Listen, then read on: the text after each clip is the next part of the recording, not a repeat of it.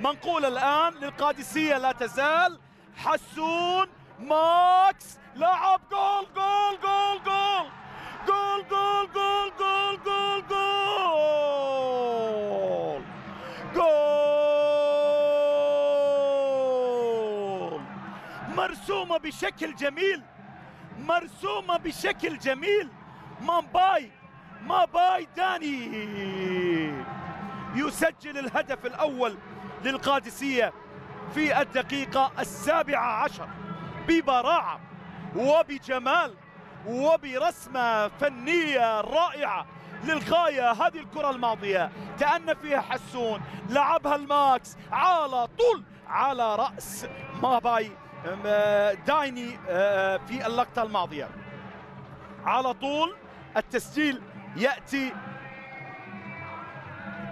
ميباي ميباي هو من سجل الهدف الأول لمصلحة فريق القادسية. ميباي يسجل الهدف الأول.